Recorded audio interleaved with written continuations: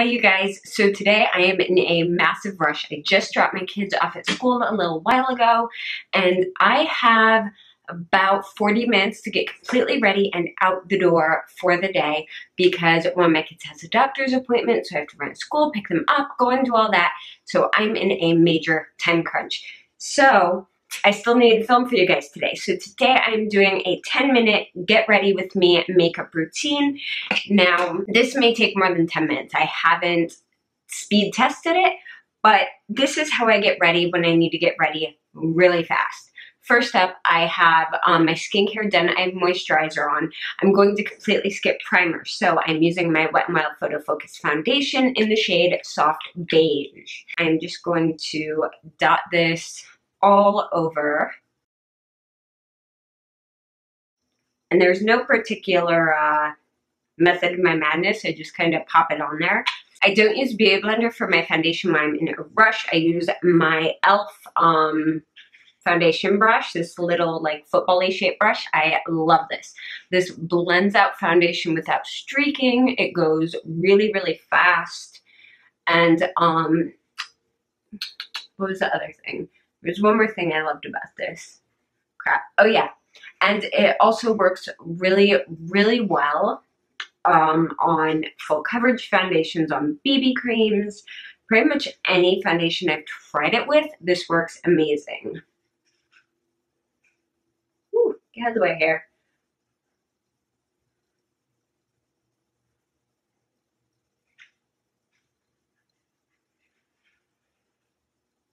All right, next for concealer, I'm grabbing my Tarte Shape Tape in light. You know I love this stuff. And I'm just popping a little bit underneath my eyes and a small amount down my nose and right there. I don't need a ton of concealing, thankfully, because my skin is cooperating. And for my concealer, I am using the Beauty Blender Micro Mini.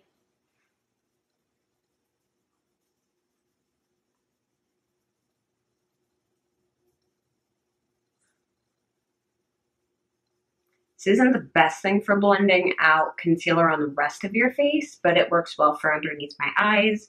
So I just wish it was a smidgen more dense. It's less dense to me than the original Beauty Blender, and it actually makes it harder to work with.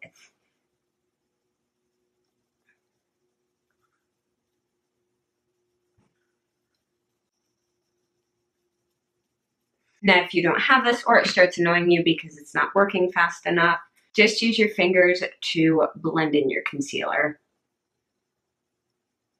I'm also going to put whatever is left over on my fingers, on my eyelids, Oh, and if I'm making weird faces, guys, it's because my nose is itching like crazy. I took my allergy meds this morning, but the ragweed pollen where I live is so freaking bad. And the roads I take to my kids' to school is aligned with ragweed. And I don't have a super duper fancy air filter in my car. So yeah, not doing too hot this morning. So to set that, I'm using my NYX HD Finishing Powder in Banana and I'm just setting my nose, the inner half of my eye. I notice that if I set the outer half, it gets a little too crazy. I'm going to take this and just go over my whole eyelid area with it. That way that area is prepped and ready for um, shadow and anywhere where my foundation tends to wear off during the day or I get shiny. There we go. All right, next up is blush. I do recommend skipping contour if you're in a hurry. And this is the Amazonian Clay Blush in Entertain. And I'm just popping this right on the apples of my cheeks and drawing it back a little bit.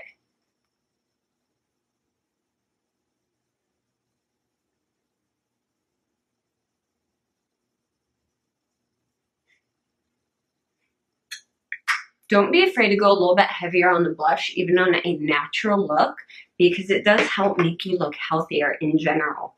So I am doing a highlight and I'm going in with my Smashbox um, Pearl palette and I am using the shade Turn It On, which is the, I guess, most natural highlight, though this is still a really strong highlight.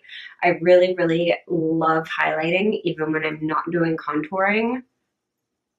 Just to add a little bit more glow if I'm using a matte foundation. And this highlight blends so well and with your skin that it looks natural. So my face is pretty much done. Next I need to do my brows and this is probably going to kill me on the 10 minutes. I'm using the Anastasia Dip Brow Pomade in dark brown and just the e.l.f. eyebrow brush.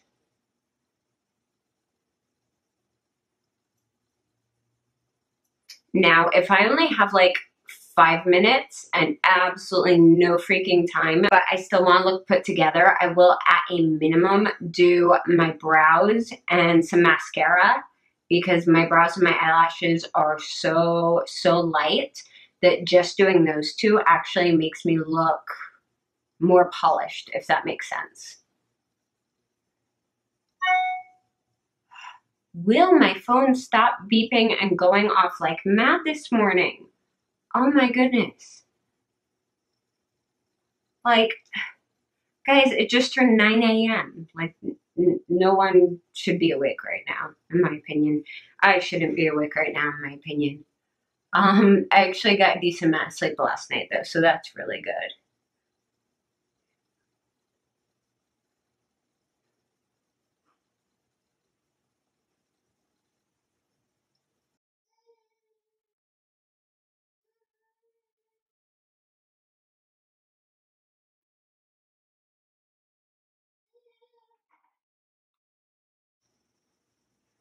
I always screw up my brows when I try to rush doing them. Always, always, always.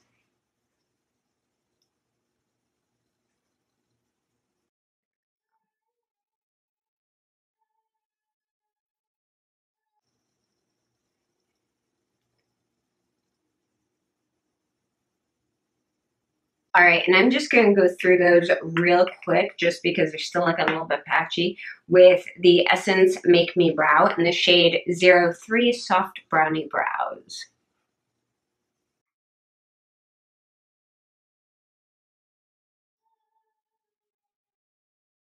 All right, next I'm moving on to the eyes and I'm totally skipping eye primer since we already did our concealer on there. And I'm grabbing a Real Technique shader brush and I'm going into my Too Faced Chocolate Bar Palette. This is one of my very favorites for a very fast, neutral look. And first I'm going in with the shade White Chocolate and I'm just going to pop that underneath my brow bone. Yes, I'm using a big brush for this, but that's fine because this is a very, very matte shade. In fact, in my opinion, it's one of the prettiest matte cream shades for underneath your brows. And I'm also going to pop this in my inner corner. I don't want a like highlighty highlight today. I just want that area brightened a bit and this is perfect for that. All right, taking that exact same brush, I'm going into the other shade we're using and this is Milk Chocolate. Any nice neutral brown shade, like a medium neutral brown will work perfect for this. So I am just patting this all over the lid and bringing it up into the crease. Don't worry about being super neat. We're actually going to grab a clean blending brush and just fluff that out a little bit. And the same on the other side. Of course, you can use whatever colors you want. You can go as detailed on your eyes as you want. If you don't feel like you need to do foundation that day, you can just do eye makeup. But I find that when I'm really in a hurry, a look like this is the fastest and also the hardest to screw up. Now I just want a bit, tiny bit more color on my eyes, I decided. So I'm going in with the shade Nectar on that blending brush and just adding that right at the top of that brown. Don't be afraid to add lighter colors into your crease area or above your crease after you've already added dark shadows. So many people are like terrified and think, oh, I can't go back in with a light shadow now. No, you absolutely can. In fact, it really helps with blending and can just help smooth the look out. Of course, this is not the best blending job in the world by far because I am in a hurry, but using good shadows and good doesn't necessarily mean high end. It just means whatever works the best for you. And um, just going with neutrals can really help speed up the process. I'm also going to take a small pencil brush and go back into melted chocolate and just run a small amount of that underneath my eye just on the outer half.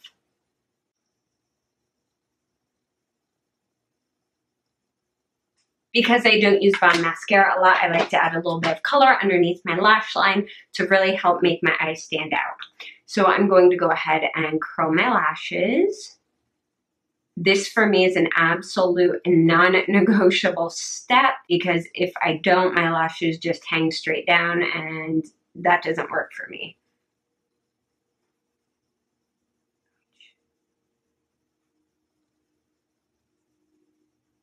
All right, so today I'm using two mascaras. I know that's insane, but I'm using Maybelline the Rocket Volume Express Waterproof. Um, the main reason I'm using two is because whenever I use a waterproof mascara, the oils on my eyelids tend to make it smear right underneath my brow bone. So anytime I want to use a waterproof, I actually have to top it with a non-waterproof. I use the waterproof to help keep my lashes curled.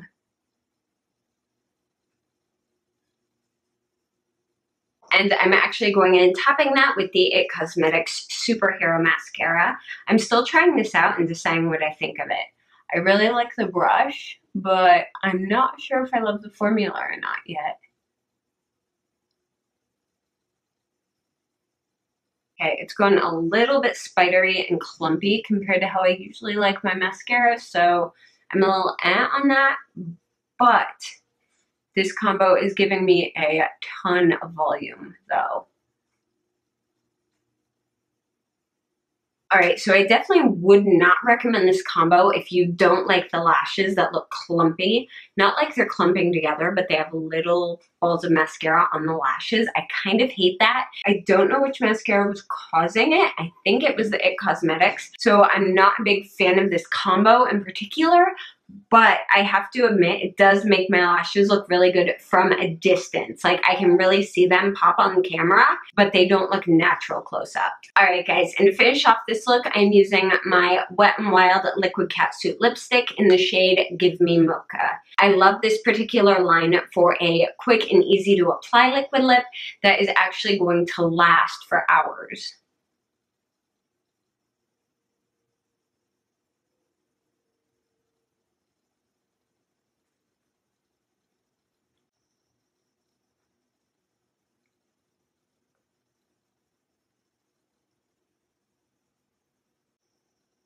All right, guys, and here's the finished look. It probably only took about 10 minutes.